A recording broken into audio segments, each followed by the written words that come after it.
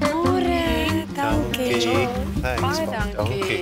Karel, so op daai nooi vertel vir 'n bietjie wie kan almal Easy Equities gebruik of wie kan belê by Easy Equities? Enigiemand. Ehm um, en enigiemand moet belê. Of jy nou jonk of oud, ryk of arm is. Easy Equities is ons mense wat baie klein is, en mense wat 90 is en almal tussenin. Daar's 'n gesegde dat Warren Buffett gesê het hy is spyt dat hy te laat begin het om te belê en hy het begin toe hy 'n tiener was. Nee, dit gee my hoendervleis. Maar jy's goed want jy het begin met jou kids wat goed is. Ja. Ehm maar dit maak nie saak nie as mens nie begin as jy 'n tiener is nie. Mense moet net begin en mense moet dit geniet. Op Easy Equities is ons mense wat in hulle 90's is wat belê en dis fun, dis lekker. Dis nie net om jou portefeulje te groei nie.